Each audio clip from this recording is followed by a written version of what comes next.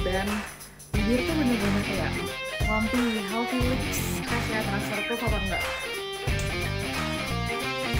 gue sih tetep nggak transfer kurang canggih di 8 shades ini menurut kalian yang cocok buat gue yang mana? komen ya sekalian check out kerennya